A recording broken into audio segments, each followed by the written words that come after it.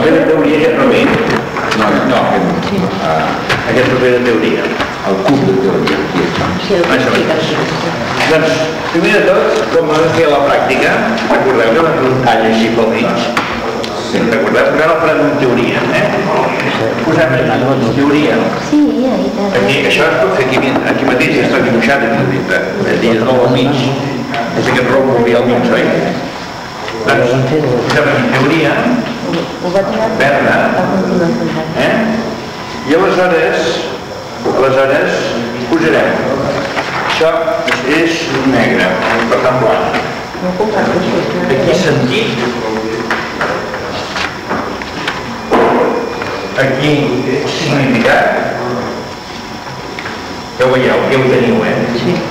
Només és marcar-ho. Aquí anàlisi i aquí síntesi. Són quatre punts cardinals de la teoria.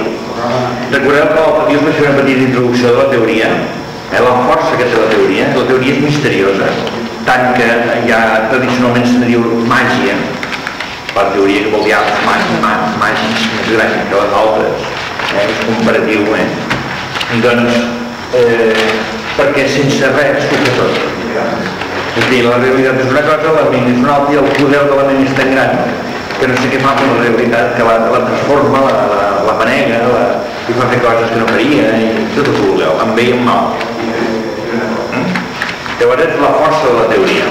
Però la teoria, tradicionalment a Occident, només se sol entendre l'abstracció, que és abstracció la teoria, eh? abstracció vol dir que de la realitat abstreus alguna cosa i aquella cosa que tu has abstret, l'has abstret perquè t'interessa o pel que sigui, i aquella cosa treballes la resta de la realitat.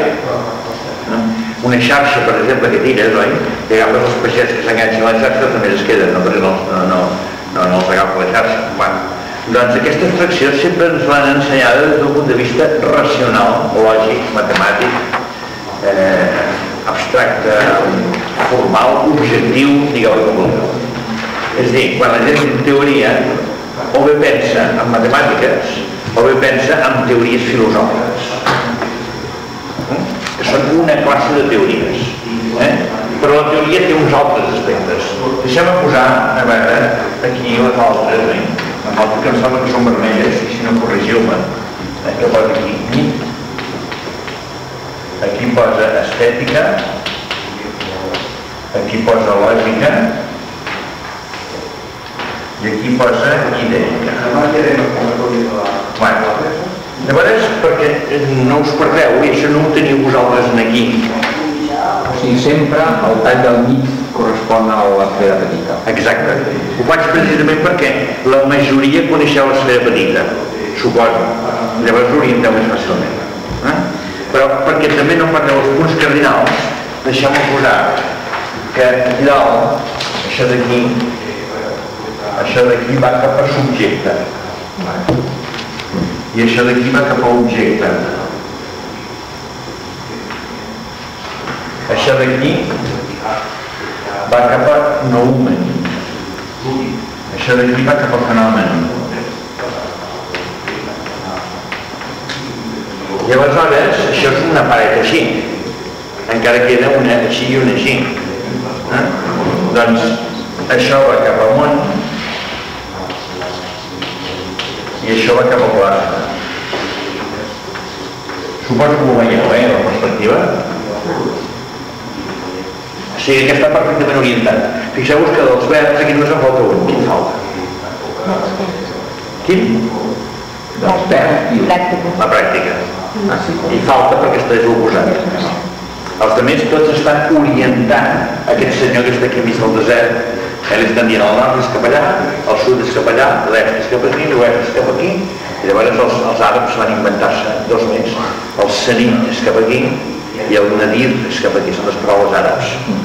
Eh? Per indicar les tres dimensions. Eh? Les, les, eh, els sis punts cardinals de les tres dimensions, perquè quan nosaltres fem mapes de la Terra plana, en tenim quatre, en tenim prou, nord, sud, est i oest. Eh? Però si a més hem de pujar i baixar, és una altra dimensió, no? I això se'n diu senit i nadir. En termes d'astronomia. Què? Astronomia. Astronomia i de Sí, sí. En topografia també s'utilitza. Sí, també perquè feu muntanyes i valls. Eh? I per no pugeu i baixeu, només d'anar així o així. D'acord? Bé. Aleshores, si sabeu això que us estava dient, eh, en aquesta espècie de caixa de distribució eh, hi ha una part objectiva que cap aquí tira cap a lògica, eh, cap a lògica vol dir cap a la, la, la no sé què, les formes, cap al, a què? Les formes. cap a l'abstracte, però no sé, a tot és abstracte, no? Deixeu, bueno, doncs cap a les formes, eh, que seria el fenomen això mateix, i en canvi la idea va cap al moviment. Eh, que ho veieu d'aquestes dues coses així, oi? Aquesta s'inclina cap aquí i aquesta s'inclina cap aquí. Però tot és objectiu, i hi ha el subjectiu, eh? que hi ha l'estètic i l'omític. D'acord? Doncs la teoria que la gent sap és sobretot d'aquest tros d'aquí, això que mira així cap aquí, és quan la gent diu això és teòric, no està pensant en això d'aquí, està pensant en això d'aquí. Eh? I per tant ara hem d'obrir-nos més. La teoria l'hem d'obrir més, que és una, un exercici que l'estem fent contínuament amb aquest model. Eh? Obrir més, més relacions eh, de les coses. Doncs bé, aleshores, eh, aquí poso això ho posaran amb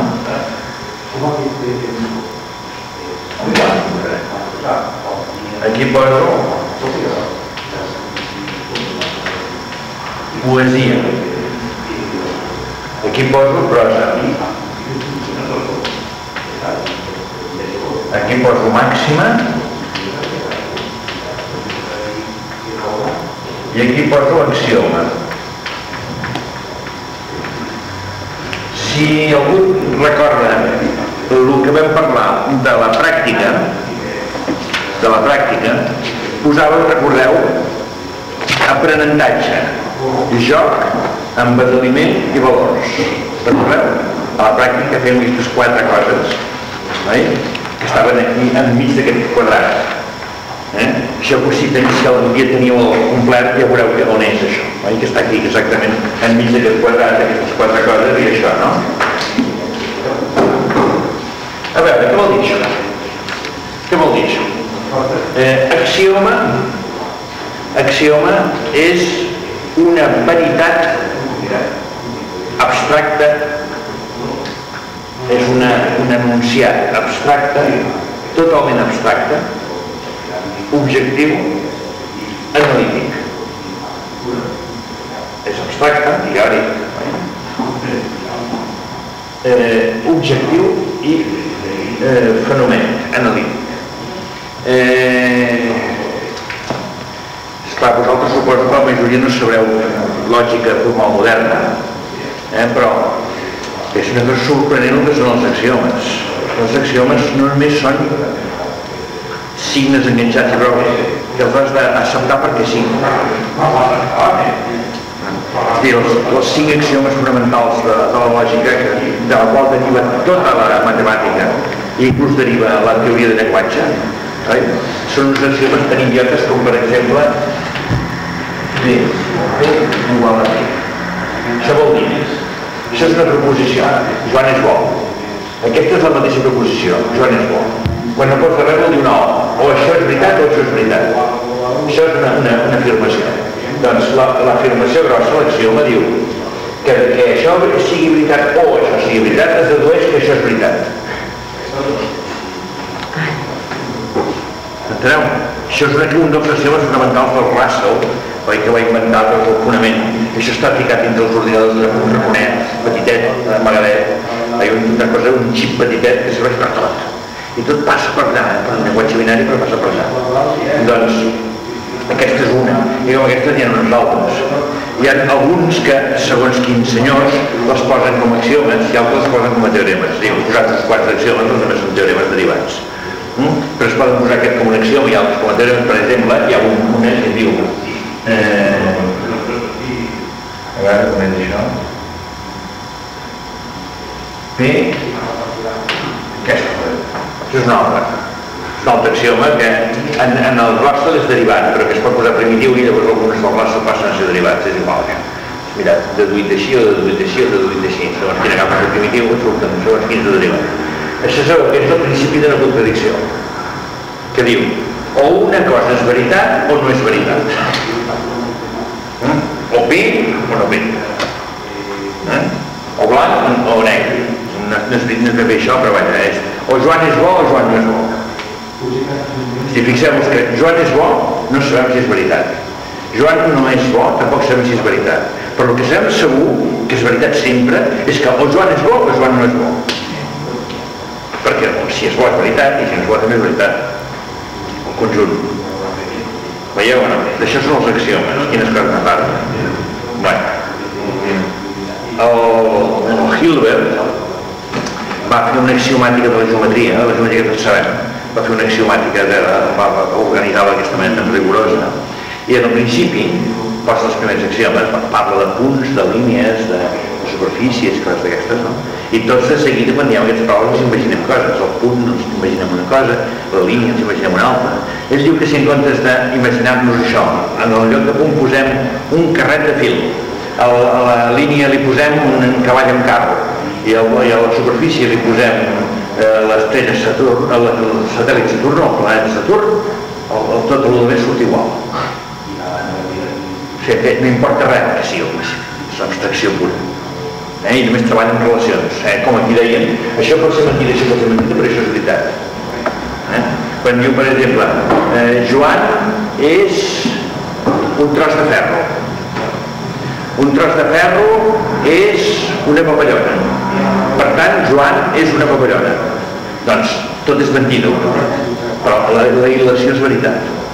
Si Joan és ferro i el ferro és una papallona, segur que Joan és una papallona. No és veritat. Però no sé si noteu la cosa. És dir, que hem marxat... No, no sé, tu no has seguit gaire això. Home, no, però vull dir que també és absurd, perquè així podríem explicar-ho tot, no? No, però, però fixa't, és la condicional, no et diu que sigui veritat que Joan és ferro. El que, et diu, el que et diu és que les, les deduccions d'aquesta classe són bones. Ara, Però els plantejaments no. un moment, però és que tu confons, diguem, la il·lació amb la conclusió.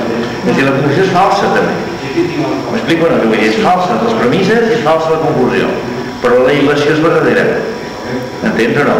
Llavors, com, com se sap? Tu el que t'interessa no és si la il·lació és verdadera. T'interessa saber que si la, la conclusió és verdadera. És clar, no ho és. Eh, llavors, eh, mira, fots.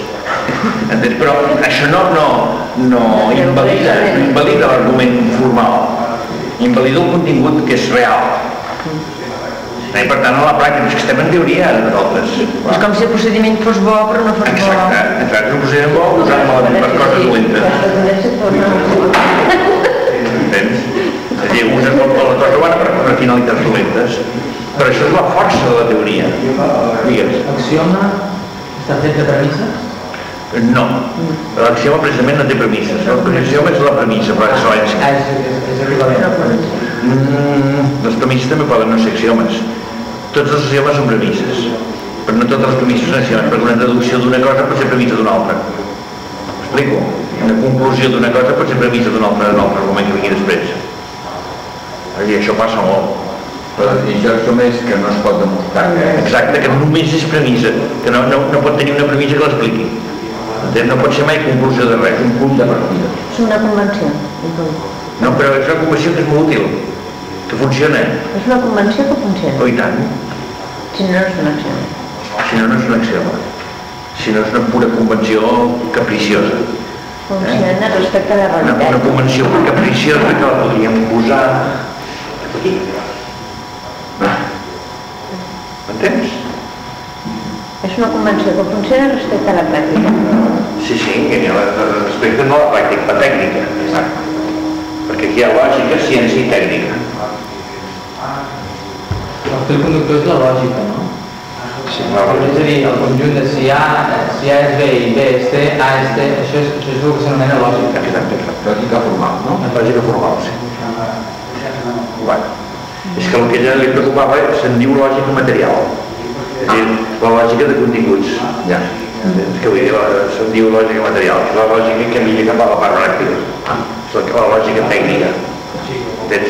És a dir, aquí hi ha ciència. La ciència no està feta de lògica formal. Està formulada en lògica formal, en matemàtica. Però té continguts. És a dir, per exemple, si tu dius 2 més 2 igual a 4, oi? això és abstracte. Però si dius dos comes més dos comes igual a 4 comes, això és concret. Eh? Si dius, per exemple, x o, per exemple, eh, z és igual a x per i, no? Això és abstracte. Eh, però si dius eh, velocitat eh, o espai és igual a temps per velocitat, és, la mateixa forma, però aquí hi ha continguts, aquí hi ha espai, hi ha temps i velocitat, aquí no sabem què aquí no sabem què aquí no sabem què hi? Llavors, per exemple, això que, que, això que tu veies, això que deia aquelles bestietes que deia del ferro i tot allò, doncs, eh, de P, si vols poder, A és B i B és C, se dedueix que A és C. Això és veritat sempre. El que no sabem que és bé que C. I tot pot ser mentida, això pot ser mentida, això pot ser mentida, això pot ser mentida. Però això és veritat. Enteneu? Això és abstracte. Això no és ciència, això és lògica. Lògica mirant a teoria. En canvi, això és lògica mirant a ciència. Ja. Després, quan això li dones valors, és ciència mirant a tècnica. És la mètrica. Eh, que diu, en comptes de dir espai per temps per velocitat, diu 30 centímetres és igual a 30-40 segons multiplicat per no sé quantos centímetres per segon. Eh? Llavors això és la mètrica. I això va de, de ciència cap a tècnica ja.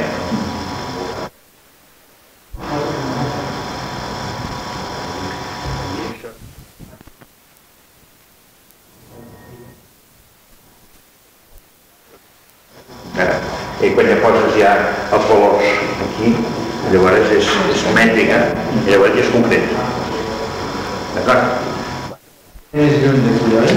D'aquest punt. Sí, Lògica exacte. mirant ciència. No sé què preguntes. Lògica mirant ciència. Queda més, no estan, queda més lluny d'aquest punt. Va. Semi-teòric, semi-pràctic. Eh, Ja va cap a la pràctica, cap a la realitat.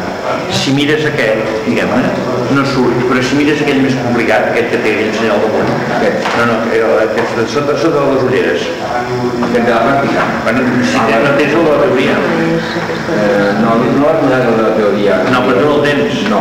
No, doncs la teoria sí que surt perquè agafa més. És a dir, aquests, aquests diguem-ne, Espera, és a dir, en aquest, per exemple, com deies tu molt bé, eh, si vols mirar-ho per aquí, Sí que tinc. el tens o no? Sí. Jo Doncs fixa't, fixeu-vos que hi ha mm, anàlisi. Deixa'm el nom.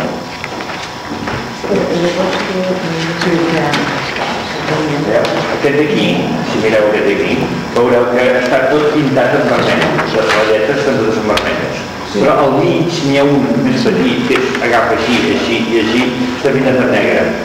És Ah, aquest. sí, ah, sí, sí. Sí, que no una mena de... Sí. No, no, massa tot. Ja no... I llavors aquí, per exemple, doncs, a veure on està aquí això, axioma, IDT, determinació, teoria... Vaja, no, no, no.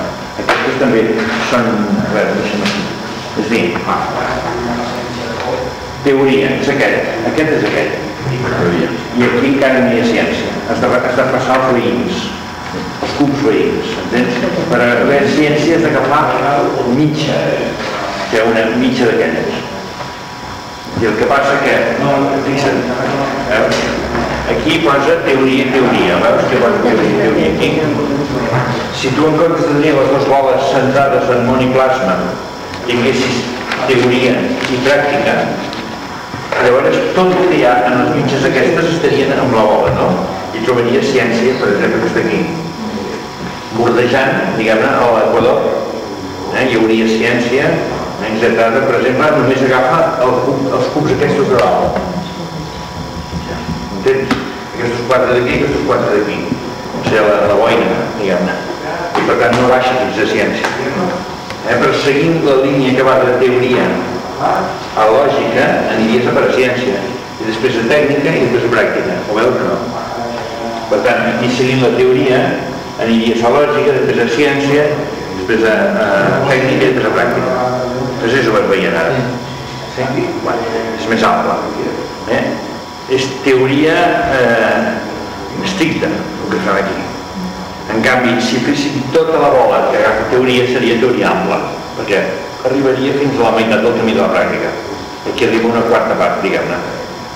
Mm? Són una, dos, tres i quatre. Ho veus o no? Tot i que sense estar mig camí, la teoria i pràctica. Eh, ciència. Sí, que això és molt concentrat. Saps què passa? Que explicar teoria ampla ja ho va fer ells en el curs primer. I ara estem explicant ja una cosa que té de caure moltes més coses. O sigui, per tant l'anem reduint, l'anem concentrant. Escolta, l'opció no està a la, a la cara o està al mig? Vull dir, està a la paret o està al mig? Això està així. Això, això vol dir Axioma, on, Axioma. està axioma? Això està al mig d'aquest rombo. Però de, de la paret, diguem-ne, no, no, Sí, en el, sí. No, al mig, no al mig del cubet petit. De, que estaria mirant D'aquest cubet, vols dir? No, del cubet petit. No, no, el cubet petit no. No. No, perquè està a la paret. Està a la A la paret. paret. Està a la paret. Ja, a la paret. Sí, sí, ara tindràs la pregunta.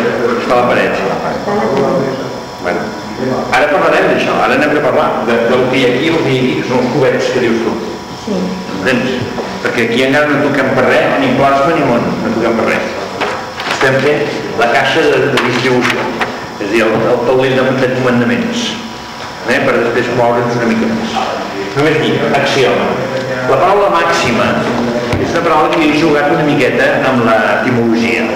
Una màxima és un proverbi, és un adagi, eh? és una dita, eh? que doncs, són, són frases famoses i qui en malanda mal acaba tal faràs, tal trobaràs tot això són màximes eh? De tota manera aquestes màximes són màximes una mica mínimes. Enteneu que són màximes limitades. Eh? és a dir, aquí quan parlo de màximes parlo d'explicar el màxim amb el mínim. No?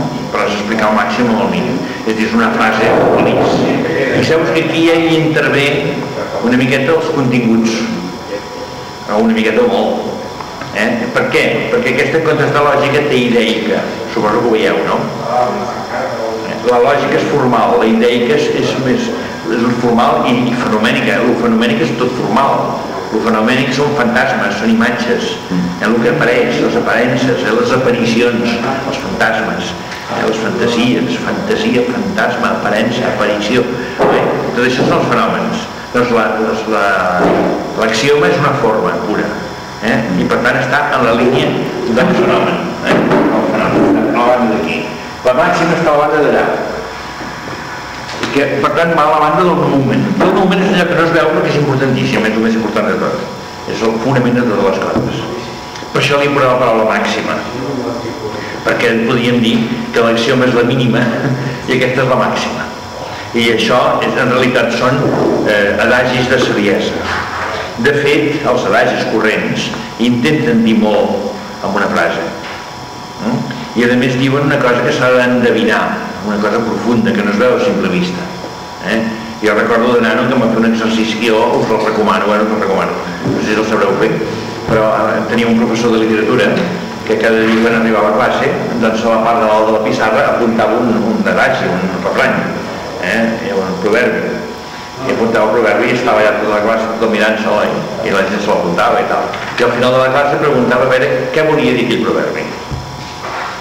Mm, i ens, ens excitava la interpretació dels proverbis que és una cosa interessantíssima perquè els proverbis són molt concentrats eh? i què volen dir, a més fixeu-vos que els proverbis en si mateix presos al peu de lletra són falsos moltes vegades. Perquè hi ha de tot. Hi ha proverbis per una cosa i per la seva contrària. No sé si us heu fixat. Hi ha proverbis per tots els gustos eh? Eh, quan la candelera riu el fred es viu quan, de la, quan la candelera plora el fred es plora tant si plora com si riu la candelera riu. Va, no sé què és, és una cosa. No, que al final no saps què és. Eh? Doncs és a dir que els refranys eh, els adagis són veritat en relació a una, a una realitat present Dir, l'adagi no val en si mateix, val quan se'l cita. En el moment que se'l cita i amb la gent que el, el rep en aquell moment. L'adagi és un truc, diguem-ne, del savi, oi? per dir el que vol dir en un moment determinat amb una persona o en una situació, una cosa determinada per a aquella situació. Ja. Eh? És curiós això. Eh? Comodí. És un comodí, una espècie de comodí, sí. És una miqueta el que passa amb el tarot, per exemple, oi? que la gent doncs, busca el tarot aquelles figures, però li suggereix coses a dintre, i aleshores hi veu coses que no és que ho digui allà, però allò dona peu, és un comodí útil, eh? és el mateix que passa amb l'acció amb això. Eh? Són aquesta força que té la teoria, oi? que és màgica, oi? que és un esquema que et diu coses, però no et diu qualsevol cosa, eh? i a més depèn molt del, del teu estat aquelles, aquell test que se'n diu les taques de roixes, no sé si ho coneixeu una miqueta el test de roixes no no us l'ha fet mai aquest test que són com unes taques Ah, sí, sí. unes taques de tinta Sí, sí, sí. i llavors cadascú hi veu el que se'n diuen testos, tests projectius perquè fan sortir el que tens amagat eh? doncs els màxims també tenen aquesta missió Són programes generals. Com una. Vés-hi pensant, vés-hi pensant, perquè té més, més, més d'això del que saps, no d'això. Eh? És a dir, eh, en comptes de donar forma a les coses físiques, eh, dona forma a les coses transcendents, no psíquiques no. Ah, ens els trobarem, el psíquic els el trobarem una altra banda. Perquè el psíquic és subjectiu, és subjecte. Ah, això és, és objectiu, però no és analític, és. Exacte, és sintètic. És objectiu sintètic Exacte. i, i no és, no és fenomènic. No és fenomènic, sinó que és noumènic. I et vas, et vas guiant bé, eh? Noteu aquestes, aquestes paraules que flanquegen Sí, serveixen per posar-les al seu lloc. Objectiu sintètic, noumènic. Sí. Sí, és dir, de- una de les coses més, un dels patrimonis més importants d'una cultura és el seu repertori d'adagis. La Bíblia, per exemple, té tot un llibre dels proverbis. Eh? I a més en té altres llibres que també posa proverbis, però el llibre dels proverbis de la Bíblia. Els castellans també tenen el seu llibre dels proverbis, que és el Quixot. Si heu llegit el veureu que està plegat de proverbis, però plegat. És un recull de tots els proverbis que hi havia en circulació a Castella. Els catalans tenim un llibre de proverbis. De proverbi. A veure, com? Proverbis en si o frases fetes? Bueno, hi ha llibres, sí ha. hi ha refraneros Sí. populares, però uns llistats, eh? De refranys sí que n'hi ha, però... Sí, que n'hi ha molts, Sí. n'hi ha molts. El Joan Amades és el que ho va recollir Això, això. sí. Tinc quatre volums de Joan Amades a casa. Sí, però és que en té més, eh? eh? Que són quatre volums de costumari català, sí. deu ser. Però després té altres coses, contes de rondalles, i, no sé què, i, i jocs, i cants, té un llibre de cants preciós, oi, de cants recollits llistes, en Perdulià, que per ells va recollir per, per allà per les Masies, exacte. Doncs, eh, ja està, la màxima està explicada, eh? Una miqueta. Aleshores, tot això, diguem-ne, és en terreny objectiu. És, és allà, és un patrimoni. Eh? El patrimoni és les màximes. Eh? L'altre és un, un tinglat, una estructura.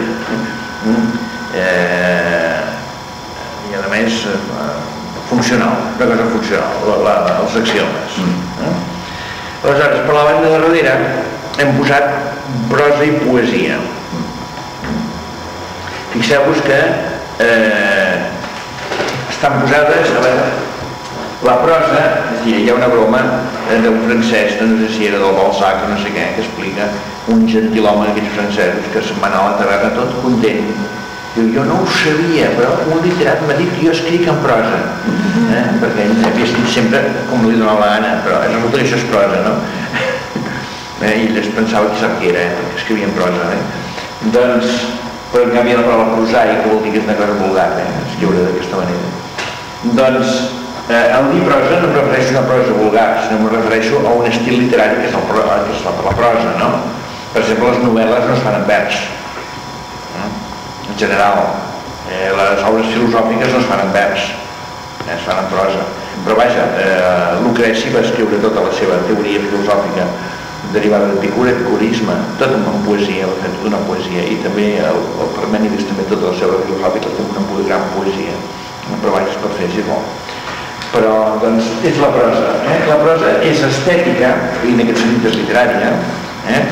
i fixeu-vos que estètica està entre sentit i ana- analítica, eh? anàlisi. Eh? Entre sentit i anàlisi. El sentit, i, i els que recordeu del curs passat, suposo, doncs és la, és la part més intel·ligent, eh? El contrari és del significat. que el significat és raonable i és objectiu, eh? que és la definició. I en canvi el sentit és allò que cadascú li diu la paraula i que és diferent per tothom perquè és objectiu. Eh? És tota una espècie d'esclat interior de la paraula, eh? que és la intel·ligència de la paraula, és el que tu entens, no el que diu el diccionari, sinó el que tu entens.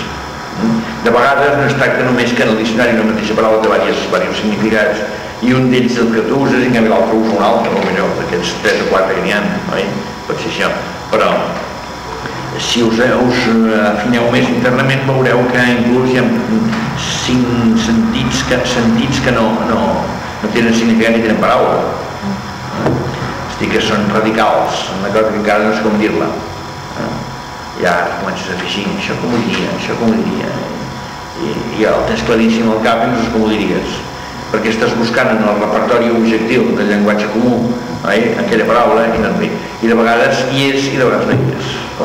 I quan no hi és, el poeta inventa la paraula.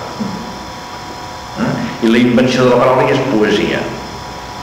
La prosa també hi ha invenció, però és invenció de la frase, a dintre de la frase s'inventa perquè si les frases no inventessin tothom una, no, no caldria llegir-ho perquè tot el que diu allà són paraules de diccionari que ja la sabem?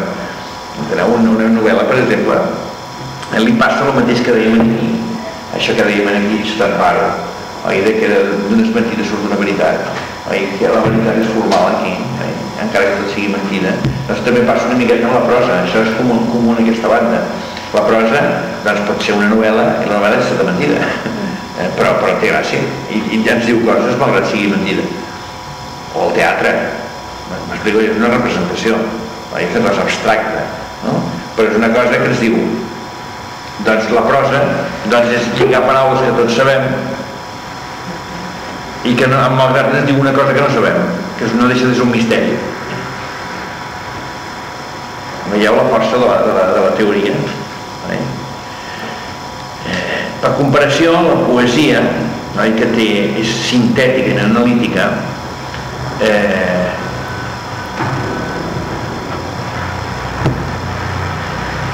posa poesia i de vegades explico per mitjà de la metàfora que és el que més explica la poesia que és una paraula que està, està molt a prop d'aquesta no? és dir, que la poesia el que fa és crear paraula encara que no la digui Eh? Els alemanys, per exemple, junten dues paraules i fan una. Però dues paraules que no s'havien de ningú abans que ells. Contínuament estan inventant paraules compostes, diguem-ne. Doncs, per exemple, la paraula multimèdia, no? Dir molts mitjans, no? Però no existia abans aquesta paraula. I ara ja existeix multimèdia. Doncs els poetes d'això en fan la vida corrent. És a dir, mm, la gent es pensa que poesia és una cosa i la poesia és una altra. Eh, poesia és eh, dir la novetat en paraules que no existeixen i normalment doncs això es representa la pràctica que usen les paraules del diccionari en un sentit que no és el del diccionari i t'apanyes eh, t'exercita també la teva subjectivitat endevinatòria Això portat a l'extrem ho fan les vanguardes que van al pas del segle XIX al XX i tota la part més del segle XX, eh? totes aquelles bestieses. La brossa. Què? La brossa. En brossa, eh? porta l'extrem i altres abans que ell. Eh? Doncs contínuament. Eh? Eh, doncs van dient coses però exageradament fortes. Eh? Jo ho, ho, d'això ho, ho explico com dos carbons que passa l'electricitat són conductors del, de la, de l'electricitat dels carbons i això se'n diu un arc voltaic, se separen així i li costa molt perquè l'aire és, és, és aïllant però com que estava, passava tant de tant no deixa de passar i llavors un arc i aquell allò fa una llum molt més forta totes les, les màquines de cinema abans tenien arc voltaic perquè era una llum prou forta perquè tan lluny encara es veiés si no es quedés cada molt fosquet allò, amb una altra corrent, amb una bombilla corrent, bombilla corrent. Llavors, quan més separes, més, més tensió hi ha i més llum fa allò, més fa allò. Però arriba un moment en què s'apaga, pum, s'apaga, perquè no pot més. Mm? Doncs el no sentit és quan s'ha apagat, ja no, no tens res, ja no hi ha intel·ligència, eh? ja, ja, que és el que li passa a la gent senzilla quan entra en una exposició d'art modern. Eh? Em diu, no tinc res. Eh, I això què és? Se va preguntant. Eh, busca la comunicació, és dir, la igualtat, eh, la, la, la, la continuïtat, eh, i allò hi ha una discontinuïtat. Eh? Llavors només un que és molt fort, doncs mentalment salta d'una cosa a l'altra. Mm, I els artistes aquests de les vanguardes famoses doncs van apretar tot el van poder això, que era una cosa que ja hi era en tot l'art antic. Per cert, ahir o abans d'ahir va morir un senyor que us el recomano, que famós en tot el món, que es diu Gombrich, no sé si ho va llegir al diari o a la tele, ho vau mirar a veure, el senyor Gombrich, que té una història de l'art que és, que és el llibre més venut de tot l'art de tot el món. Mm?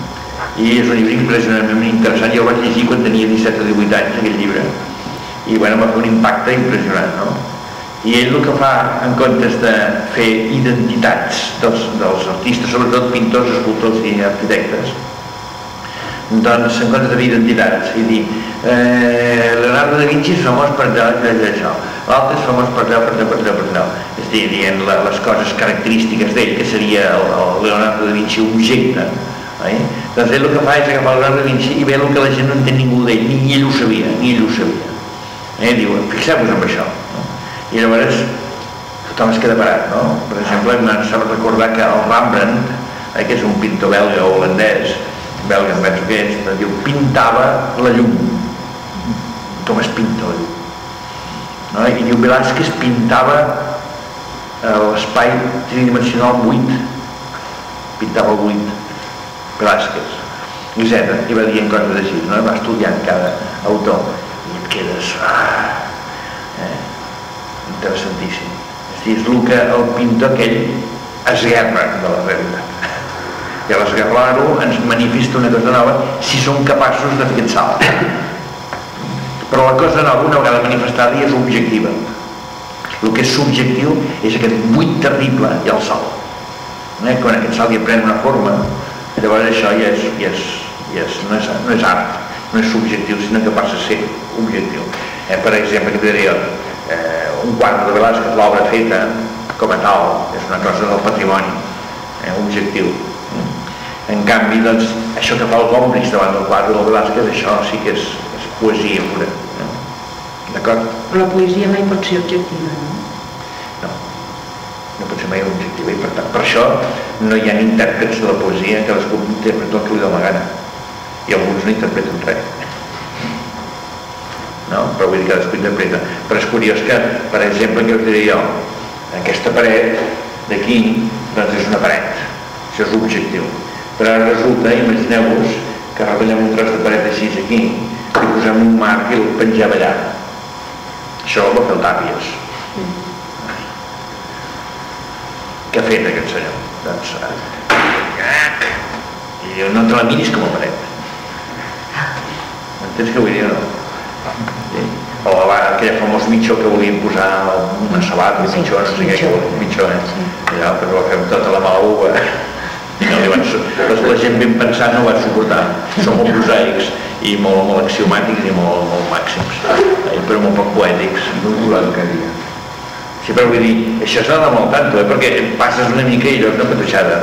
Eh, va haver un senyor italià molt llest oi, que va lligar una brotxa empapada en pintura a la cua d'un ruc, li va posar una tela al darrere i el ruc va anar fent, ja, amb la cua va anar fent així, després ho va vendre i van vendre milions.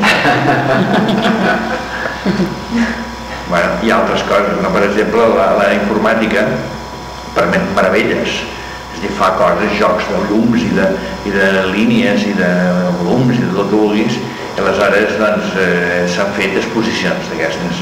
Però l'art la, no està en la informàtica l'art està que allò que fa la informàtica fa moltes coses, fa això també això deu fer la informàtica eh, hi ha altres coses, fa la informàtica i per què triem aquelles?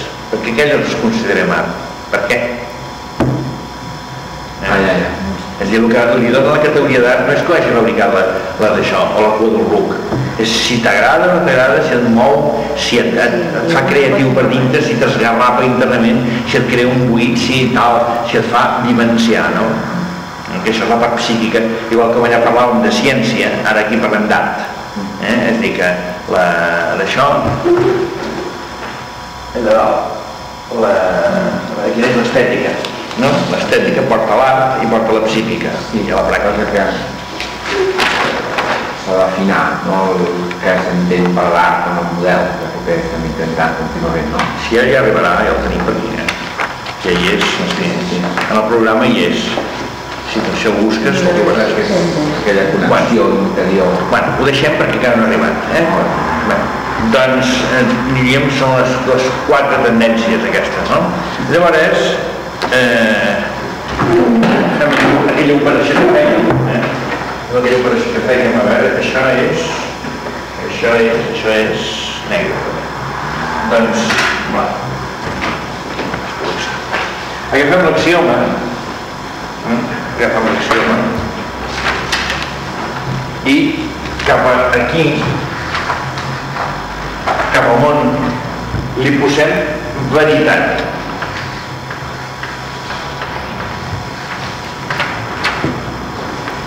Té un número 11 d'aquells cubets que deia la Conxita, eh?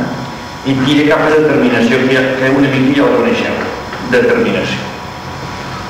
També ens la trobarem més endavant, eh? És dir, que els axiomes poden ser de dues classes, uns mundans i uns plàsmics. Eh? El mundà és aquest i el plàsmic eh? diu borrositat.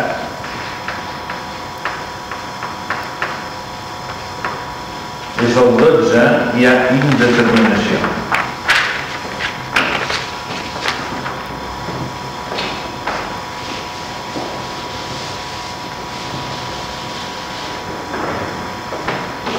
Això eh, és important. Normalment tot el que expliquem eh, de, de, del curs passat, diguem, mira cap món. I el novedós mira cap a plasma. Eh? És una cosa novedosa. Doncs bé, els axiomes, tal com ens l'hem explicat, aquelles coses PPs coses d'aquestes, tot això d'aquí, eh? doncs mira cap aquí. I dèiem que era veritat encara que els continguts fossin falsos. Eh? És la veritat de la forma la forma pura. Això ho va descobrir Aristòtil, que les formes pures podien ser veritat encara que els continguts fossin falsos. Eh? Que és la força de la teoria. El Mendelejev l'altre dia explicava en la taula periòdica dels elements, recordeu? Es podia haver equivocat per la formera verdadera. Es podia haver equivocat i haver equivocat, posat el carro en comptes del qual, però jo què sé, no? Perquè hauria pogut badar i equivocar-se. Però aquella forma era verdadera. I això és el que el, el Lenin deia, no sé si ho vam comentar amb vosaltres, que la millor pràctica és una bona teoria. Eh, que el Marx deia la pràctica dicta la teoria.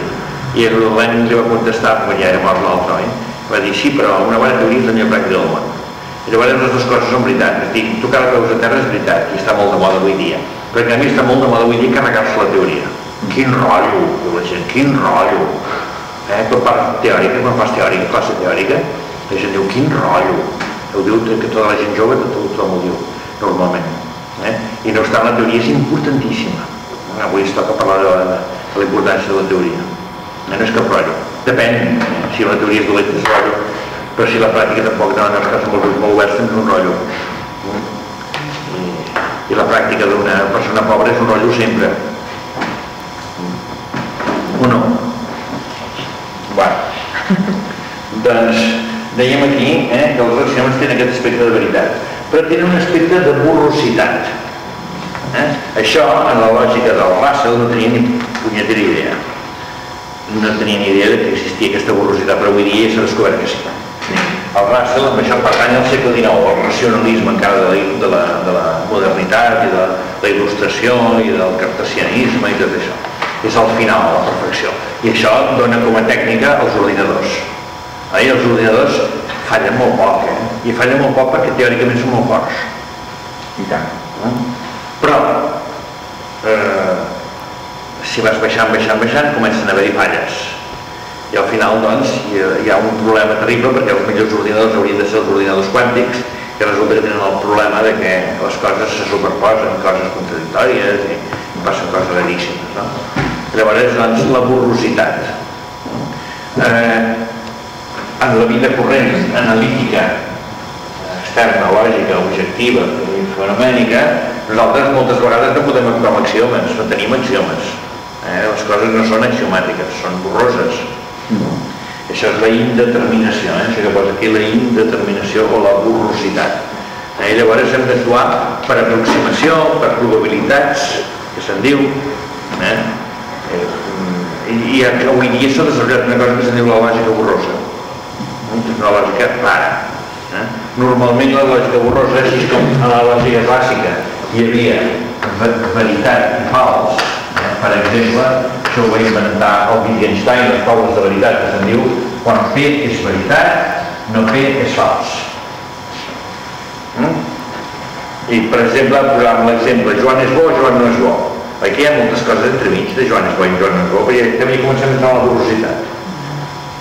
Enteneu? És a dir, qui és el maco que diu que, que només pot ser dit que Joan sigui bo que Joan no sigui bo? Si és el que no se sap mai. Si l'únic que no hi ha és ni un Joan bo ni un Joan dolent. Si no hi ha una cosa entremig que és borrosa. Per mi, de sobte, eh, tirat per terra el que el maco ben posat, oi? I anant cap aquí, doncs hi ha aquesta borrositat. Dit d'una altra manera, la gent molt quadrada mentalment és una desgràcia de la humanitat. Eh? Dir,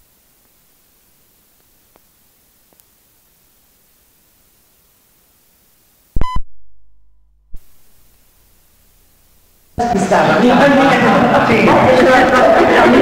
gent Això és no, però hi ha altres coses que no és veritat, eh? Hi ha partits que són realment populars, eh? Sempre noteu, eh, que hi ha un problema d'indefinició a les coses. És a dir, mm, Això no és borrositat, és, és mala llet. per què heu rigut? Perquè fem poesia. Ha lligat la procedura amb la mala llet. I a més la mala llet també és el que volgut dir més la paraula llet que volia dir una altra cosa. Eh? Un pont aquí, un arc voltaic, que déu nhi eh? O sigui, ja, fixeu-vos quins jocs de llenguatges que fem contínuament, no? Però, eh, diguem-ne, mm, ens hauríem d'acostumar perquè també s'ha demostrat que les transaccions neuronals del cervell són transaccions quàntiques i que per tant ja la, la indeterminació quàntica més bàrbara està ficada dins del nostre cap. Eh? I nosaltres ens pensem que tenim les idees clares i no les tenim mai clares. Eh? Tot, és, tot, tot té una oscil·lació, eh?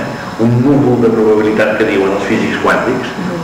I podem dir que qualsevol paraula, la paraula del senyor pare, eh? doncs és tot un número de probabilitats així en què pot voler dir més això, menys allò, i contínuament estan parlant així. Jo l'altre dia vaig anar a la zona universitària. Oi, què vol dir la zona universitària? On acaba? On comença? El Barça està a la zona universitària, no ho està.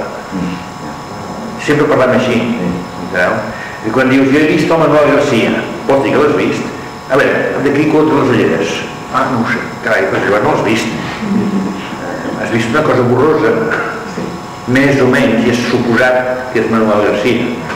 M'explico, no sé si heu passat ara per aquí, oi? Aquí darrere hi ha una, una, una casa que venen cotxes, i el tio aquell, aquell tio que està posat així, no sé si l'heu vist aquell tio de la tele, aquell tio del millor ni de la història, que el fan, el fan els anuncis, i li han fet un retallable tan perfecte que pas per ahí sembla que no el trobi. I carai, aquest tio! Tan ben fet. I és un tros de cartró. Doncs bueno, això, això tu, el mestre d'això, malgrat sap el contrari, és el Descartes. És dir, el Descartes que va inventar el mètode més rigorós matemàtic per la ciència, no obstant, en, la, en el pròleg que va fer amb això, que se'n diu el discurs del mètode, doncs explica que filosòficament no s'aguanta res, que ho diu. És a dir, comença a dubtar, dubtar, dubtar, dubtar, i dir, a veure, és així o no és així? No, perquè tal, m'enganya els sentits, m'enganya tal, oi? És dir, que totes les coses tenen un element de borró. Al final va dir, hi ha una cosa que potser sí, que ja es venen discutint més enrere i que es va seguir discutint endavant, que ells llavors en deien les veritats eternes, però volia dir les veritats matemàtiques, perquè tenia la idea de que Déu pensava en matemàtiques, eh? des, de, des de no sé quin, des de Pitàgores, eh? que va dir, o Theos aritmetitze, eh? Déu aritmetitza, és a dir, Déu pensa aritmèticament, no? De tan enamorat que estava ell de les matemàtiques, no? El Pitàgores. Doncs el, el d'això, el Descartes, quan fa la dubte metòdic, el dubte metòdic, que és el dubte metòdic del Descartes, que va dubtant de tot, perquè llavors diu, aquestes les toco o no les toco? És a dir, si no les toco, Déu no és Déu, perquè ja té una espècie, és un Déu constitucional, no com el rei d'Espanya, perquè té les matemàtiques pel damunt, i ha d'obeir les matemàtiques, per tant ja no és Déu. I si Déu és Déu, pot dir que dos i dos són set. Cau un noi, dos sense patat a terra. Eh? I llavors com és, i llavors què fem? Eh? I, van estar així, I ell al final se va carregar el curs de matemàtiques, eh? va dir que Déu podia fer una altra, una altra història que no fossin les matemàtiques. Mm, I que les matemàtiques estaven sota Déu. i que per tant també eren borroses no eren segures ni eren segures del tot eh? perquè podien ser d'una altra manera o sigui que ja veieu quan no necessita tot això no? aquestes potències mentals bueno, doncs les tenim posades ara anem a dos més eh? aquesta d'aquí les màximes eh? la màxima mundana aquesta li posem la paraula és una paraula molt de moda però hem dit molt complicada eh? paradigma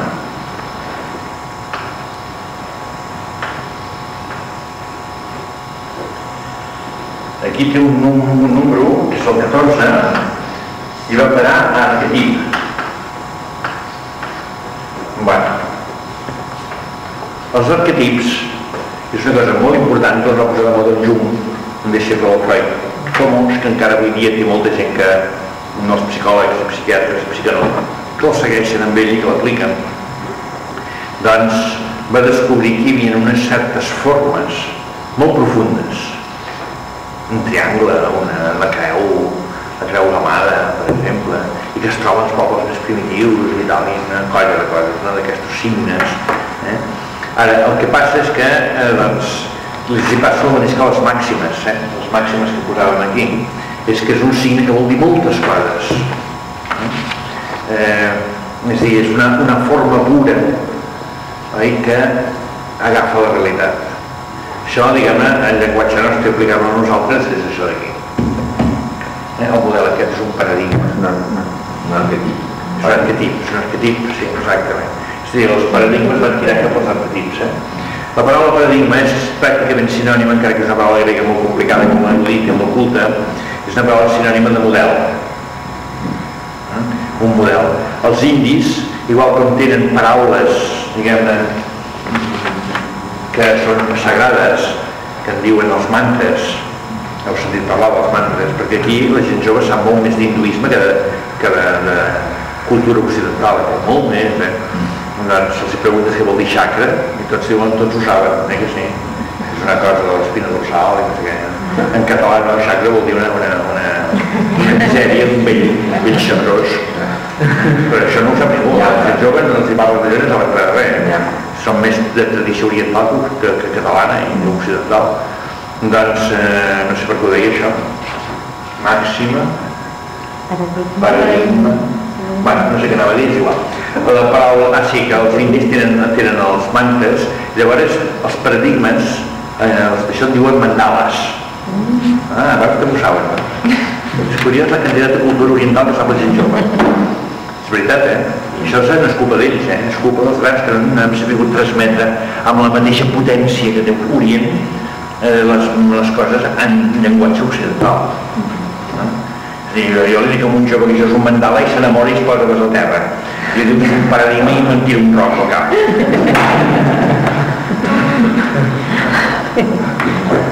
doncs la paraula paradigma, així com abans hem dit que el Jung va posar la paraula petit, la va posar de moda, no, la paraula paradigma la va posar el d'un senyor que es diu mm, Kuhn, Thomas Kuhn, Kuhn, Q-H, U-Q-H-E, Kuhn, que és un senyor que va escriure un llibre molt famós que va posar de moda els paradigmes.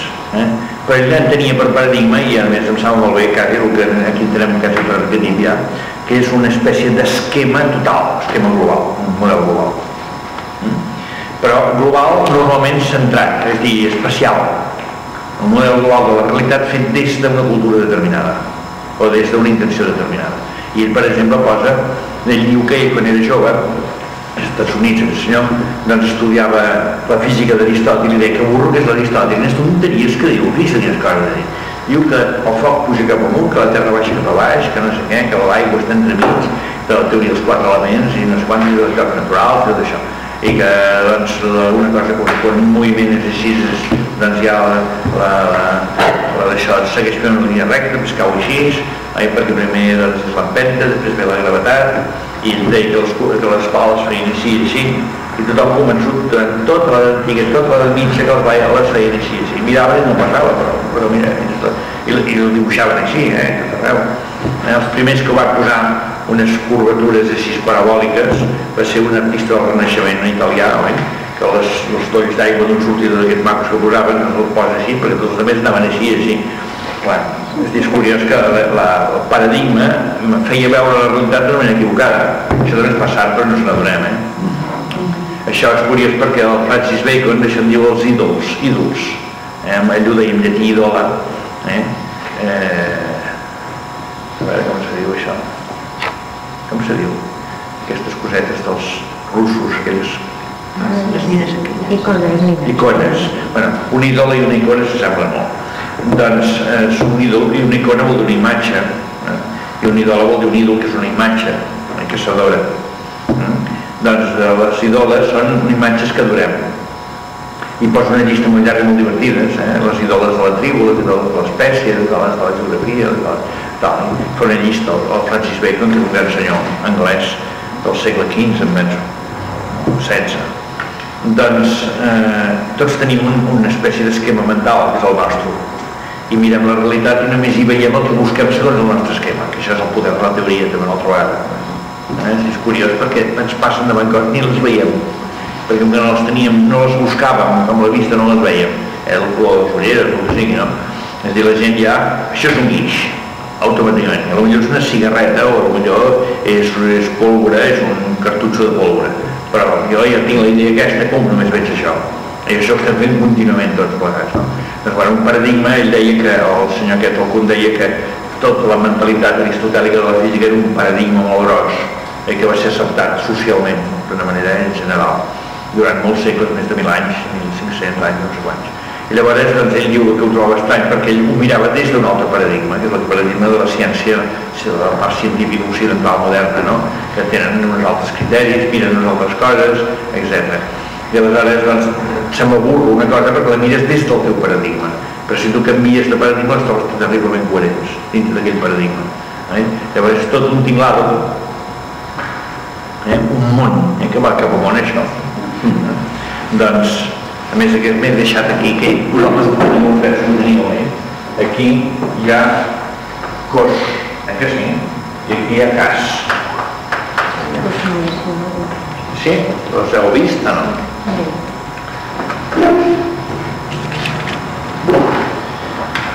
Perdó, cop i cap ah, cop i cap aquí no pot ser ningú, eh? Sí. allò, allò ho posava la pràctica allò ho posava a la pràctica Sí, és a dir, això és una cosmovisió, eh? un arquetip, una, un paradigma, oi? és tota una visió. I la paraula cosmos, encara que la gent la interpreta com una cosa bonica, perquè d'aquí la cosmètica també, oi? Però originalment volia una cosa ordenada.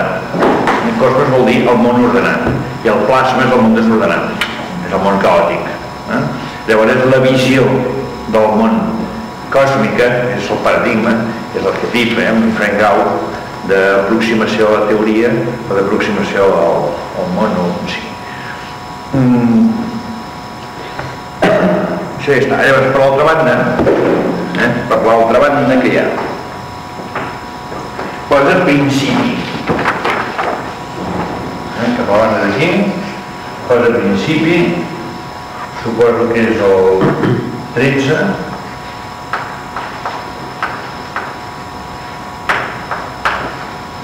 és el 13 i posa argé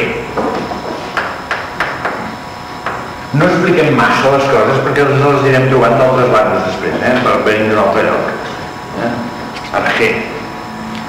La paraula argé i la paraula arquetip en el fons són dues paraules que quasi diuen el mateix etimològicament. Vull dir, l'argé i arquetip la paraula arquetip arqué és la paraula argé la mateixa paraula grega eh, que en realitat originalment en el sentit senzill original volia dir el primer de la llista eh, el primer de la llista eh, el primer de la fila eh, l'argé.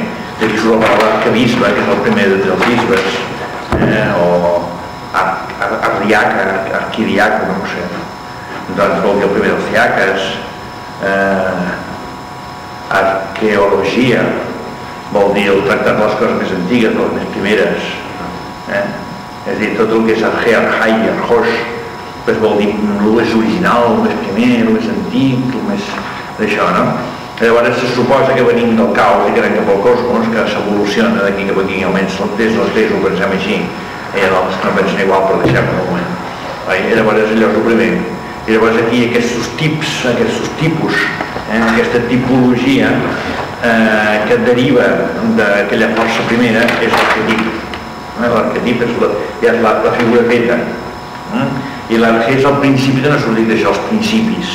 La paraula principi es pot entendre més teòricament o més pràcticament. Per exemple, quins principis són per fer conill amb, amb, amb allioli? Bueno, una miqueta d'això d'oli, una miqueta d'all, una miqueta de conill, una miqueta de tal, no? i tal. Són els principis, eh, que es diu així també, es pot dir, els principis d'aquesta vida una cosa, eh? Però vaja, aquests són els principis pràctics, aquí es refereix a principis teòrics, eh?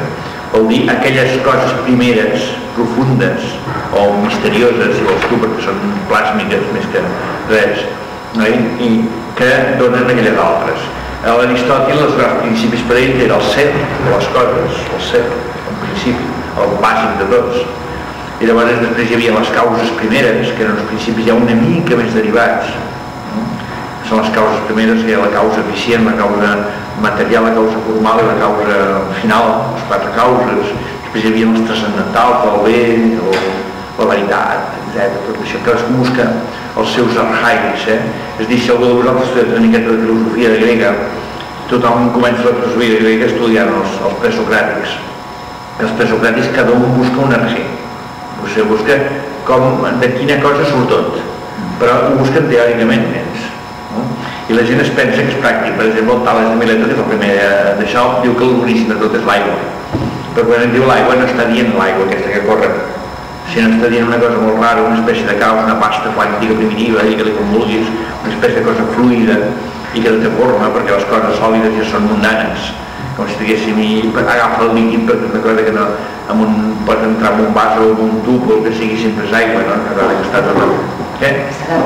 Exacte, s'adapta a qualsevol cosa i per tant és una espècie de superprincipi no? informe encara que encara no està tipificat i per tant és un arge, no argetip eh, no està tipificat encara, eh? encara és, no té tipus. Veieu la cosa, no? Aquestes coses originals. Eh, I això, diguem-ne, s'ha d'entendre no només en el sentit profund noumènic, sinó també fenomènic. Eh? Els principis estan entremig del fenomen i del noumen, ho veieu, no? aquí en l'esquema. Eh? Perquè es busca una cosa, una cosa que sigui formal, no només profunda i misteriosa. Eh? Es busca la llavor de les coses, per dir-ho d'alguna manera. De fet, eh, que al principi és la llavor, en el sentit figurat de la paraula. Eh? Dir, allò del qual surten les coses d'una manera no només misteriosa, sinó física també. Eh? Una llavor és una cosa que la pots tenir aquí, però que té un misteri, perquè no té el que té, el que vindrà després, i, i en surt, i no saps com en surt, i coses d'aquestes, no? Doncs aquesta, és aquesta noció. Sempre que parlem d'allà és difícil, eh? I suposo que ho noteu. Sempre que parlem de la banda d'allà, no, els occidentals no estem gens acostumats a parlar de d'allà i per tant costa una miqueta explicar-ho i imaginar-s'ho i el que sigui, però jo crec que és interessant que obrim el cap i ho deixem obert per coses que pots direm, ah sí, veus, això s'agafa, s'entén més bé amb aquesta noció de principi que no pas amb una noció d'arquetip, però el que sigui de... Ah, sí, havíem, l'altre dia comentava en Joan eh, els principis aquests del model sencer no els estàs introduint de moment. No. Eh? I això també i no, no, no sé, era un és per no complicar-ho més. Ja, d'acord, d'acord. Perquè els pensa que sí. Bueno, no, no sé, ja, ja arribarà, ja arribarà. No? Mira, si voleu podem fer un fi de setmana a la plana, eh? estem només treballant els principis. Sí, ja ho anava, sí. Sí, en el primer curs recordeu que parlàvem de quatre Sí, principis. però després hi ha més que Clar, però Sí, n'hi ha, ha ha, setze. n'hi ha setze. En aquest model sencer, aquests quatre es converteixen en setze. I en Aristòtil, de tots aquests punts, Aristòtil només en té un, eh? que és el principi de la contradicció. Hi ha vuit plasmàtics i mundans. Em vaig guanyar una bona nota de filosofia amb un examen, vam dir que parlessin d'Aristòtil lliure, i a l'examen vaig posar que Aristòtil doncs només tenia un principi, però que segons aquest principi només s'explicava una quarta part dels seus llibres, i que tenia tres, tres quartes parts de llibres que no s'explicaven per aquest principi. I llavors es va dir, si hagués tingut temps de pensar-ho, hagués inventat també aquest principi, també aquest i també aquest, i llavors posat tres principis menys. Dic aquest s'explicaria el seu llibre de, que seria de les constitucions d'Atenes, aquest s'explicaria el llibre de poètica, aquí s'explicaria el llibre dels animals, aquí s'explicaria tal, no? I aleshores, doncs, però com que no ho va poder fer pobret, però, però hi ha més d'un principi, i vaig fer l'examen així. Pensar, ara som encarregats perquè tocar Aristòtil era, és sagrat Aristòtil, deia al principi d'una contradicció una espècie de, de, de dogma fundamental, no? I no van posar molt bona nota, van posar la màxima nota, i llavors jo perquè costés em vaig fer fotocòpia, no? li vaig dir, escolta, que vull fotocòpia de l'examen. I ell diu, dies per que l'original, ja vaig fer l'original, vaig tenir per aquí dins. Bueno, Llavors, eh, dius que tens 16 principis, que no, no és, però no n'hi ha, no n'hi ha un de, o dos o tres de, de primers. És a dir, hi ha quatre, tots- quatre, de primers. bueno, quatre o sis, no sé, ara ja ho tenia de mirar. És a dir, Bueno, clar, quatre, també parlaven a vegades de vuit. Quatre, Sí, quatre, quatre teòrics, quatre pràctics. Sí, bueno, teòrics clar, de pràctic, sí. Primer, ells explicaven, a, a la, és que tu estat al primer curs, doncs explicaven quatre. Tens que eren quatre interessants, el que passa que ara, si ens entretenim... No, no, no, per, per, per Però ja arribarà, La pregunta anava per dir que d'arc, eh, de principi, mm, poden haver-hi diferents graus de desenvolupament, però just fins que no tinguin forma. No? És a dir, quan, quan no té forma pot ser un. És a dir, quan va més cap a plasma vas, més, més unificat és, és el vehicle, obrir, obrir, obrir. Que món es va obrint. Sí, el que passa que aquests, aquests principis que ell ha esmentat no són aquest principi, perquè aquest principi és Això més... és Ah, però no és el mateix. No és el mateix, que ells són principis molt de tipus així, diguem-ne. Entens? No? Són axiomàtics, són, són, són principis... Eh, és, a dir, és veure tot el model des d'aquí, pràcticament. Eh? Per exemple, podríem dir, el principi dels axiomes és aquest. És el de no contradicció. Eh? Que això, per exemple, tu ho deies, quan vosaltres explicàveu el principi d'identitat, dèieu, eh? sí? perquè aquest, aquest és sinònim d'aquest. Mm, igualar. És l'identitat a igualar. saps què és això? PIP. No, no és PIP. Bueno, no recordo dues coses. Vaig a menjar formal, eh? Però sí, BC, BC, això, a igualada, eh? BCC, a igualada. Mm? Perquè si aquest o aquest, el o i el negació es taxen, i queda P. És a dir, o vol dir que exclous un o l'altre, i no P vol dir que no és P. Per tant, estàs dient les dues, la cosa dues vegades, i dues negacions s'afirmen. No sé si m'explico. És a dir, si P, si és veritat que o P o no P, és veritat que P. O sigui, P és P. Enteneu? I no P és no P. És a dir, són diferents fórmules, encara hi ha una tercera formulació del principi aquest, és el principi de terces clos, eh? però que diu que entre P i no P no hi ha intermig. Eh? És una forma de dir-ho, però tot això són fórmules del mateix. És dir, aquest seria l'axioma de l'axioma. Però llavors l'axioma d'una altra cosa, l'axioma d'una altra cosa serien, eh, l'axioma de, de la ciència seria aquest, l'axioma de, d'aquí, de la metafísica seria el principi de totalitat, l'axioma de l'art seria el principi de, eh, com es Sí, deia, de, De sí, contradicció. sí, perdó, dèiem de alteritat, d'alteritat, i l'altre el principi de Unicitat. unicitat. Enteneu? Però són principis de tipus axiomes. Ja. Allà la paraula principi està usada en aquest sentit formal. Enteneu? Eh, Ja, ja arribarà. Ja. És a dir, són unes formulacions. Eh? I és que, Ah, sí, que són... Sí, són en canvi, aquest principi d'aquí és una cosa No. que està a mig camí entre el formal i el fondo. Entens? Per això parlem de llavor, també. Origen. Origen. Eh? I llavors en què es diferencia arquetip? D'arquetip. No, de- d'arquetip no, d'argent. L'arquer només és qüestió de, de que està més enllà, més a prop l'arquer de la, de la, del plasma i aquest està més a prop del món, però res més. Dir, està...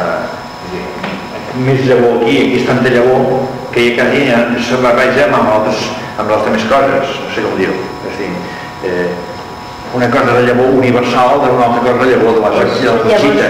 són llavors concretes. Hi ha llavors més, més, més generals i llavors més especials. Pues cap, cap aquí és més general i cap aquí és més, és més ja, es comença a obrir. Eh? Són llavors que es comencen a distingir unes de les altres. Eh, de fet, doncs això ho tenim distribuït amb 100 nivells des de món, des de plasma fins a món. Eh? I tu m'estàs fent la divisió entre aquest i, i, i, i, i l'altre, i principi, això mateix. Eh? Diem màxim, principi i arquer.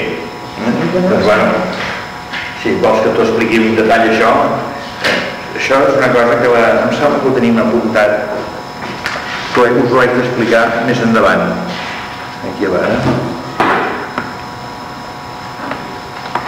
Aquí en, la, en el número 10, quan parla de plasma precisament, que posa els 10 nivells, ho veieu o no? En el número 10 posa mm, involució plasma, univers bàsic dels 10 nivells. Doncs és així, és aquest dibuix, és aquest dibuix que tens obert tu ara. Sí, jo, això ho explicaré més, eh? tota la diferència que hi ha. De bueno, seguim, perquè jo volia avui explicar a més de teoria no human, però no, no podré. Mira, sempre, sempre dur. Eh, prosa. Cap aquí posa gràcia.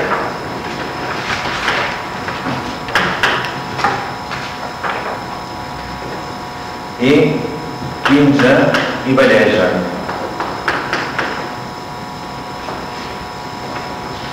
Fixeu-vos que aquesta paraula gràcia en el nostre model té molta importància i normalment en la filosofia en té poca no, no, se, no es diu gaire no se'n parla. Es parla de veritat i d'error. Es parla de veritat i mentida. Es parla de veritat i de falsedat. Veritat i falsedat. I aquí parlem de veritat i gràcia. Per tant la gràcia és mentida és falsedat i és error. Cosa sorprenent. I que fa ballar el cap. Bé eh, és dir, és una categoria antagònica de la veritat en part eh? però eh, tan bonica com a mínim com la veritat o més bonica que la veritat. La veritat és molt avorrida. És dir, quan es diuen veritat la gent es queda amb cara de boca. I quan es troba allà li fet una gràcia. I per això ho riuen és claríssim això. És dir, perquè la gràcia per riure si és, si és falsa. Eh? és dir, mentida és una paraula que ve de ment mentida vol dir una cosa molt mental que no és real eh? el mentida s'ho ha d'inventar Perdona, però amb la Verge Maria li diuen plena de gràcia, no? sí, li diuen plena de gràcia és que la paraula gràcia vol dir bastantes coses és molt rica entens? per exemple, vol dir això que acabes de dir tu que és la, que és la gràcia sobrenatural que n'hauríem de parlar d'això, és un tema teològic que n'hauríem de parlar bastant. Eh, suposo que volia dir això o no volia dir això, millor no era més senzill que volia dir l'àngel, perquè els evangelis són bastant més senzills que les teologies que s'han fet després sobre això. Eh? Llavors, eh, la gràcia d'una persona de vegades és los afeites, la, la, la cosmètica. Dir, t'arregles una miqueta i fas més gràcia. Posa una miqueta de coloret, una miqueta de, de, de, o t'arrisses una mica les celles o jo què sé i fa gràcia això fa més gràcia segons qui, altres que no que diuen que els agrada l'estat natural no? i per llavors l'estat natural és una competència terrible perquè no pots dissimular res el que no és graciós no és graciós el que és graciós és graciós no? diu, més val caure en gràcia que d'un cinc de que ho diuen així això doncs bueno el que vull dir-vos és que eh, la gràcia està en dissimular les, les, això, les, les imperfeccions. La veritat és tot, amb les seves imperfeccions. Mm? I la gràcia és una altra cosa. Però gràcia té l'aspecte de riure, té l'aspecte de gratuït. Una gràcia de caritat per l'amor de Déu, que diuen així de vegades, una gràcia de caritat vol dir una, una cosa gratuïta, gratis, que diem gratis de gràcia també, no? Gratuït, graciós, és dir, que és regalat, que no vol res, en el sentit estricte de la veritat la paraula valdre diners, la valdre que es pugui comptar, medir i pesar bé eh, per us posaré un exemple que és molt curiós eh? Diem, quan vas al Marroc que t'avalen els nanos petits tant s'arronen de mala manera volen portar les maletes et diuen que ells et portaran al millor hotel del món et diuen que ells tenen cavalls per no sé on que ells t'ho buscaran tot i per favor no més, si no que tinc la mare molt malalt fa un rotllo eh, i tots els occidentals fugint eh, d'aquelles mosques oi? Pues jo crec que aquest nano està guanyant la vida. Igual que un senyor que fa teatre igual, igual, igual, el senyor que fa teatre però per res. Un lladre d'aquestos de, de bancs que es fan aquelles coses tan complicades per obrir les parets. Que s'ho mereixen, s'ho guanyat altres, altres de, passen a la deixa de tocar la flauta per tenir diferència ja qui guanya per tocar la flauta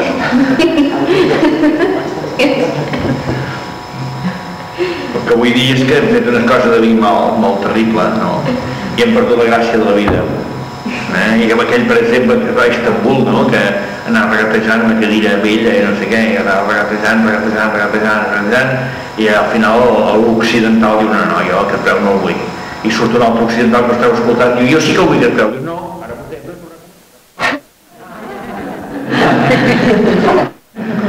Bé, tot això, això és la gràcia. Bueno, doncs... Eh, això que té al darrere prosa, eh? Té prosa al darrere. És dir, la gràcia... Eh, què és prosa o què és? Sí, gros de gros. Gràcies a la poesia. Ja ho veurem. Dies que estic més inspirat i dies que menys, fet, tingueu paciència.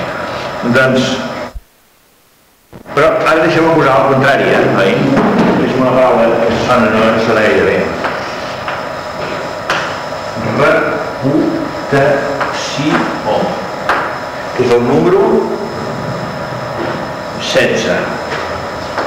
I aquí posa glòria. Això és més difícil, eh, explicar. La gràcia és difícil, perquè la gent sempre, la gent molt, molt seriosa, eh, la gent molt seriosa no entén la gràcia de la vida. Però no és res de la bellesa. Què? La bellesa. Sí, sí, això va per la línia de la bellesa. És a dir, una persona agraciada és una persona vella, no? Què és vell? Què és la condició de ser vell, ve alta, eh? Què és la, una cosa... Què és? I a més, depèn, depèn de moltes coses, eh? perquè hi ha gent que li fa gràcia a unes persones, altres li fa gràcia a unes altres, eh? la bellesa és molt relativa, el sistema té una manera d'encandilar-nos i de dominar-nos a base de promoure models molt estereotipats de bellesa, mm, que fa que molta gent de lletja sense, se- sense ser-ho. Podríem dir que cada cosa té la seva bellesa, que dit d'una altra manera és mirar-la amb uns ulls. Eh, la gent diu, oh, un galàpat, un, un, un gripau, que és lleig. I per què ha de ser lleig? un gripau? És lluent, un verd preciós, oi, té uns ulls com unes taronges, etc. És una meravella, un gripau. Però és lleig, un llimac, oh, que és lleig. Oi? Doncs de seguida tenim, dir, els biòlegs no som així, jo havia estudiat biologia i no teníem, que- aquests problemes no els teníem. Dir, miràvem amb els altres ulls les coses, llavors hi veies la bellesa, no? És dir, i a més la bellesa és indefinible, eh? Tu has dit una mica que tant el principi d'oblicitat com el principi de no sé què més, d'alteració, es poden resumir al principi de sí contradicció. Eh? Llavors la sí contradicció genera un, un conflicte, una, una endevinalla, el difícil, fa un enigma d'això, diguem-ne, no? Doncs, bueno, la gràcia té, té això, que no, no és fàcil de dir-la, no? Eh, sobre gustos no hi ha res escrit, diuen, i coses d'aquestes així, no? Doncs ja està això. Llavors aquí hi ha de la gràcia, que mira cap a la bellesa. Eh, la bellesa també, aquesta cosa que, que bé se sabia què és. Eh? Eh, per Plató era el màxim la bellesa, eh? La bellesa era sinònim de bé, bé i bellesa eren la mateixa cosa. A més, ell deia que s'hi arribava un camí molt llarg per la vida de la filosofia, però en canvi el camí recte tu vols una persona guapa. I en aquell moment entraves en l'èxtasi total, eh, sense cap necessitat d'estudi, d'estudi de res. Eh? Deia. Doncs a, a darrere li he posat la paraula reputació. Sobre la reputació vol dir bona fama, vol dir fama, eh? el fons vol dir fama. I la fama també és una altra cosa, diguem-ne, gratuïta, està en el mateix ordre, eh? per això l'hem posat junta. Mm? Mm, però és radical. L'altra és, és artificial, diguem-ne, és superficial, etc. Aquesta és radical. Eh? És a dir, la paraula glòria, que està darrere, la veieu, no? La paraula glòria que està darrere, és una paraula difícil també, una paraula que a mi passaria tota la nit perquè és nova, és a dir, no, eh, el rei Montllull la té en el seu, en el seu Arsman no té la glòria, eh? però des d'aleshores fins ara s'ha eliminat la glòria, no existeix enlloc la glòria.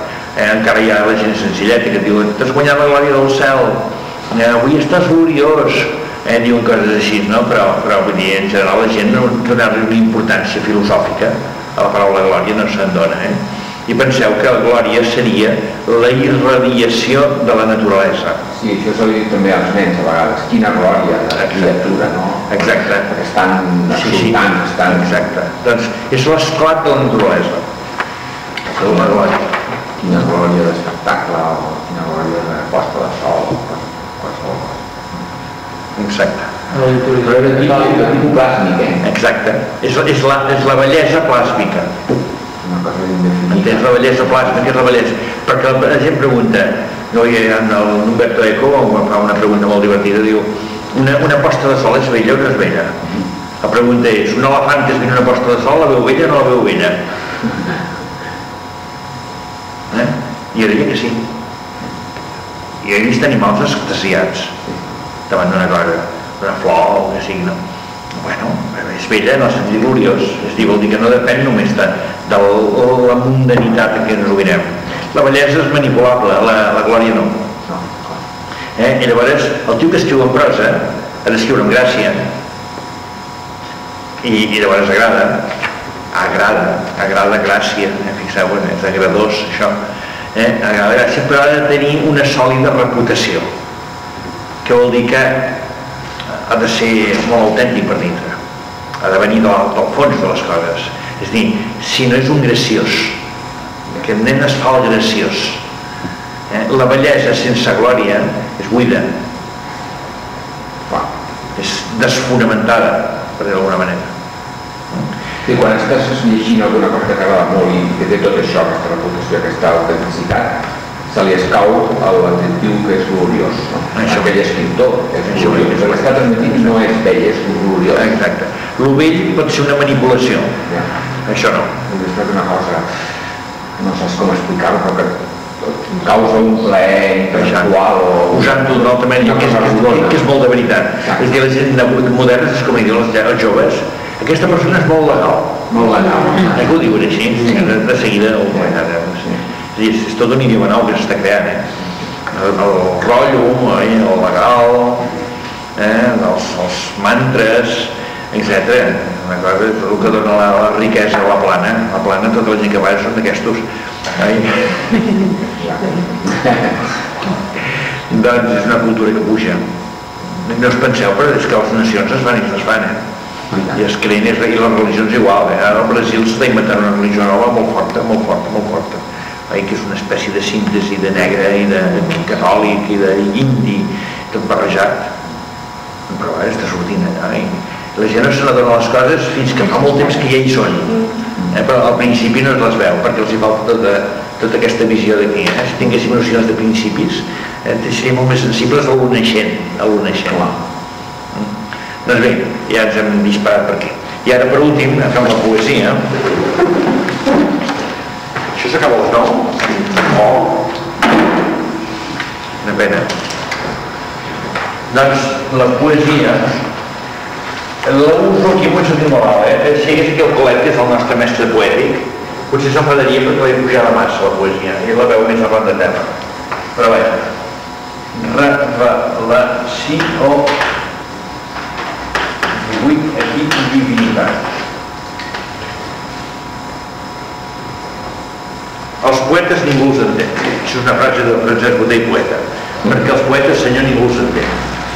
Les incomprensions prou les heu tastades. I que va dir coses així, oi? Eh, he trobat un vers, tot l'univers, i l'ànima ha restat extasiada. És un tros d'una poesia del Botell, oi? Doncs em surten trossos així tant. Doncs eh, la poesia, diguem-ne, Però la no sap qui és el Botell. Ah, sí, és veritat. És un amic meu, que és mort. Ja. Un dels grans meus amics. Algun dia ja en parlarem més. Ara no, perquè ja estic passant l'hora. Doncs la divinitat revela la poesia. És, ah, la poesia, podríem dir, és el llenguatge de la divinitat, eh, no la matemàtica. Eh?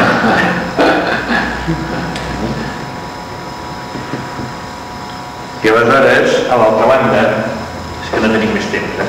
per això estic tallant. A l'altra banda, deixem-la per aquí així. Aquí a la punta hi ha tia, Tiamat, que hi ha gent nova que no sabrà ni què que tenen idea. Eh? Aquí hi ha un disset i aquí poseu providència. Això de la providència té mala, mala literatura, perquè els capellans votin massa. Evidència. S'ha de confiar en la providència, eh? s'ha de tenir confiança en la providència. Eh?